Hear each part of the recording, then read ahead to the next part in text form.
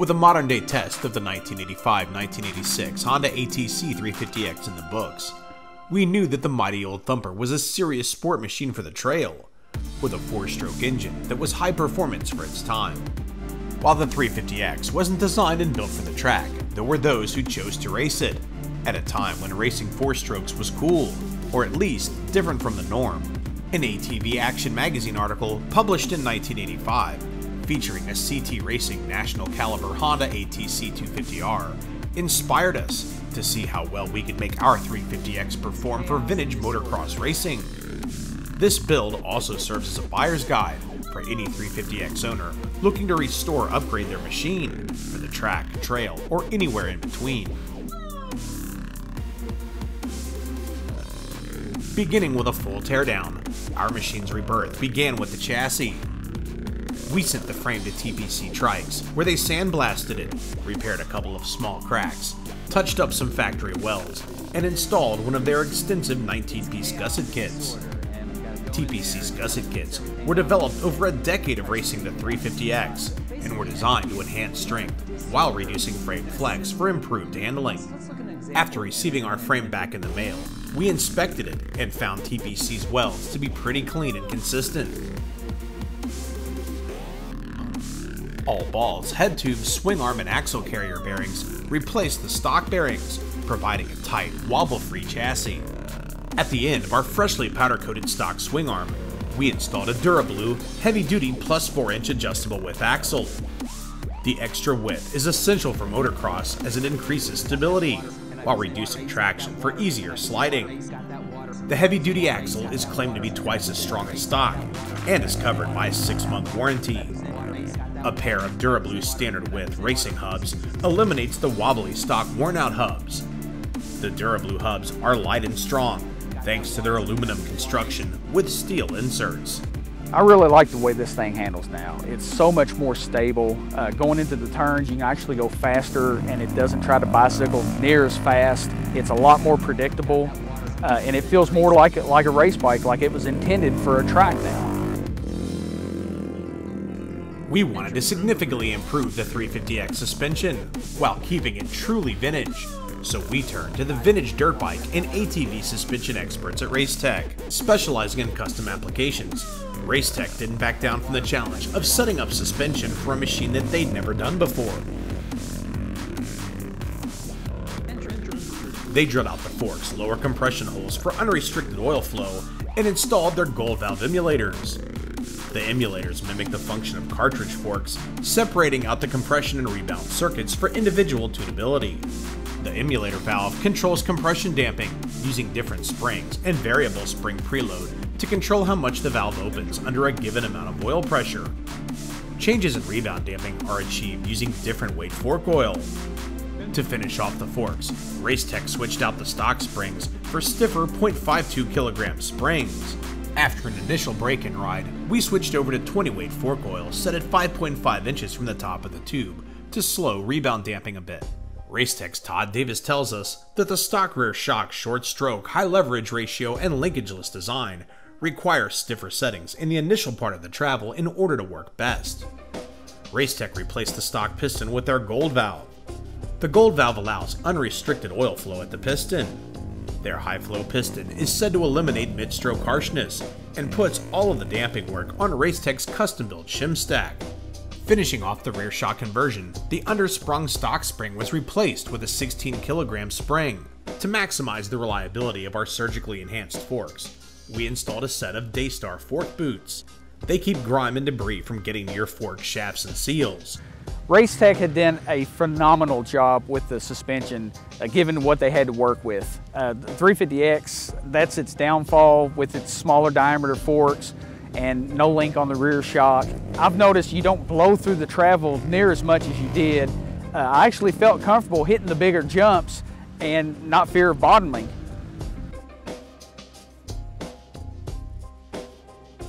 The Racetech suspension really allows me to attack the whoops. It's plush, yet it doesn't pack or deflect or do anything unpredictable, which really helps you to charge hard. Racetech is known for giving vintage suspension modern feel, and they've really given this 350X new life. Whether your motor is built or stock, The 350X stock head pipe restricts power. Harkabusic Racing offers a hybrid 400EX head pipe modified to fit the 350X. The design of the EX head pipe features larger diameter bends than the X's, in addition to a different collector design, providing more efficient exhaust flow. Harkabusic's headers go through an extensive cleaning, carbon removal, polishing, and deburring process, yielding a head pipe that looks better than new.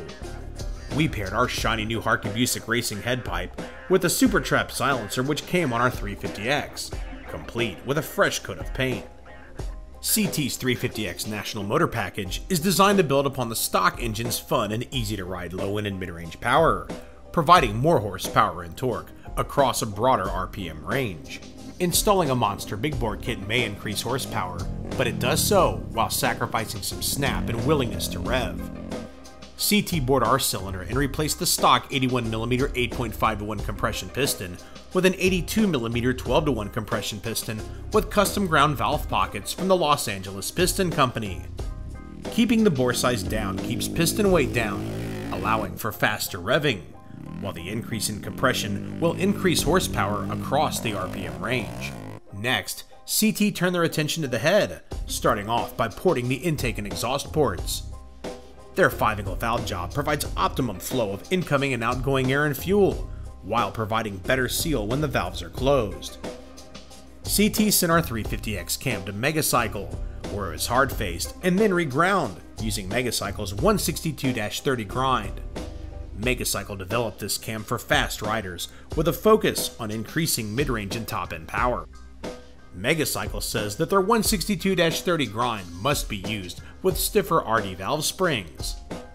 CT also had Megacycle hardface R rockers, which Megacycle recommends, and CT says is mandatory anytime you use stiffer valve springs on an air-cooled Honda. We acquired a nice used 400EX carburetor from Power Sports Nation at a reasonable price. The 38mm carburetor is not only larger than the stock 32mm unit, it also has an accelerator pump. To help our motor last another 30 years, we continued using the Uni foam air filter, which came in our X when we purchased it. The Uni offers good flow and exceptional protection against dust and other fine debris. We also use a new first line oil filter from Tusk Off Road with each oil change, delivered right to our door by Rocky Mountain ATV.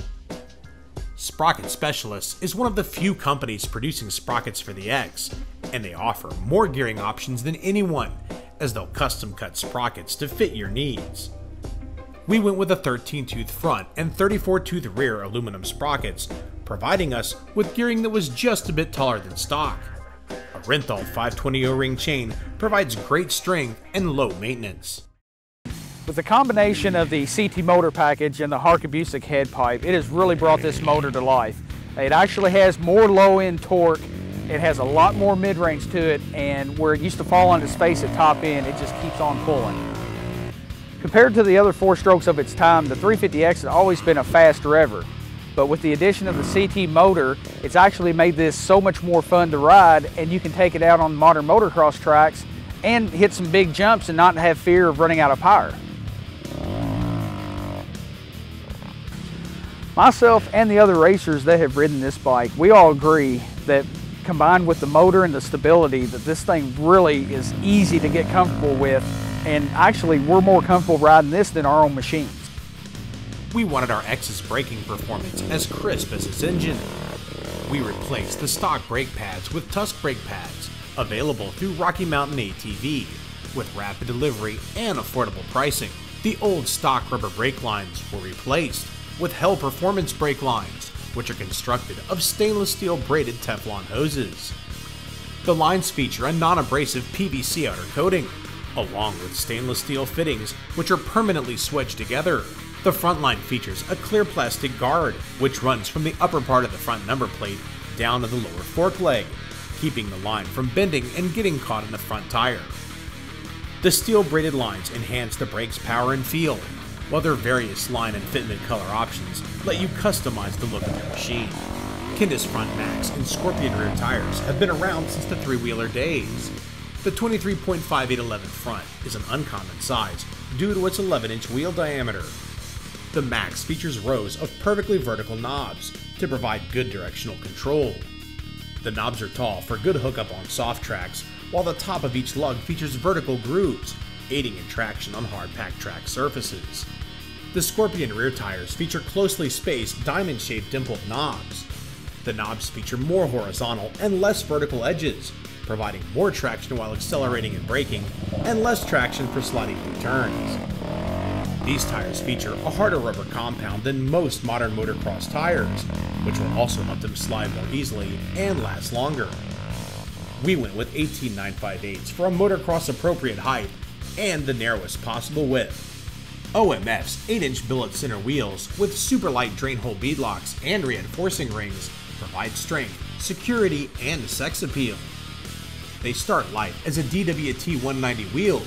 They're then machined to accept OMF's bolt on billet centers. Being able to swap out the billet centers allows you to change out the wheel's bolt pattern, offset, style, and color. The beadlocks add strength, are machined to be light, and to allow water to drain from behind them. Most importantly, beadlocks keep your tires from popping off the bead when you're running lower tire pressure or in case you get a flat. The reinforcing rings add strength to the inner lip of the wheels and are machined the same weight. Let's face it though, looks matter, and these wheels scream that this isn't your average machine. I've always liked the Kenda Scorpions. They provide great forward traction, but are really easy to break loose and slide, which is essential for going fast on a three-wheeler. The front Max, it provides great traction under braking and has great directional control on any surface.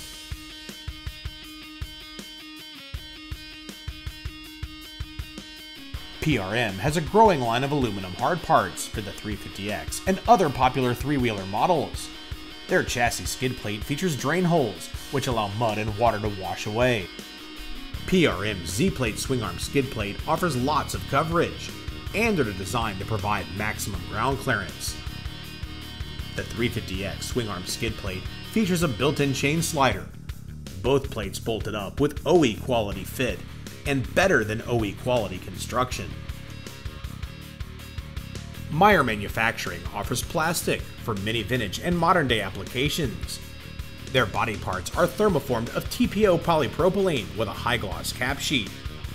We acquired a set of their white plastic, including front and rear fenders, super shrouds, which are larger than the stock tank shrouds, and a front number plate, which we trimmed to fit.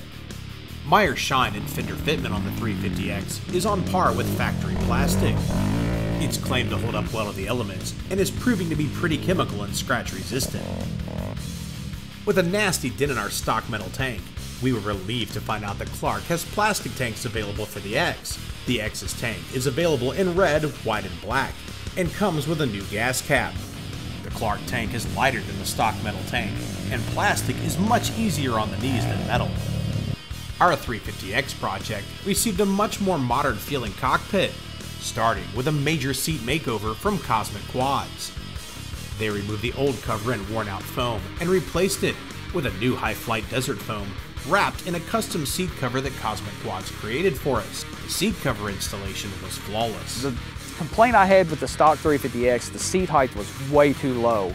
Uh, the first thing I noticed with this Desert Height seat foam is it gave it a whole modern feel and it was very comfortable.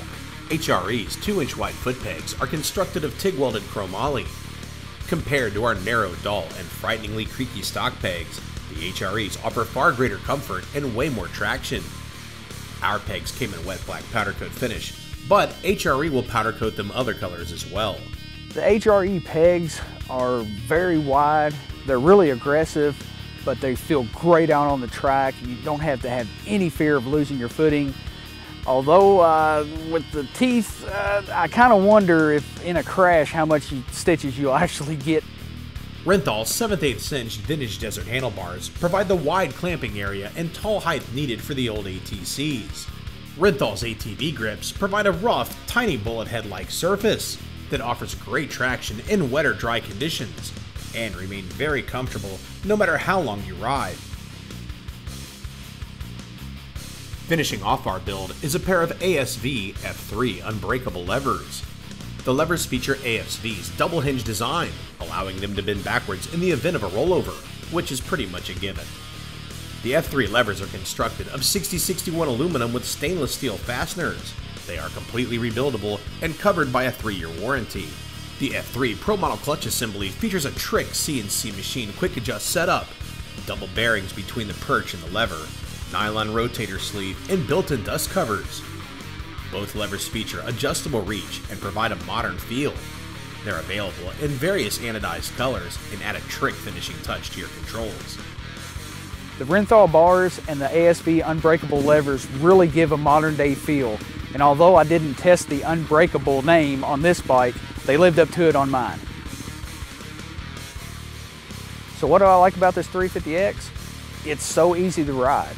Uh, it feels so much like a modern day four-wheeler. It's got great power. It's got uh, great throttle response, easy to slide around. The suspension, everything is just put together so good on this bike uh, to where anybody can jump on it and just instantly get comfortable with it. All the products we used came together to make this 350X very effective on the motocross track. Dust it off, fix it up, and come racing.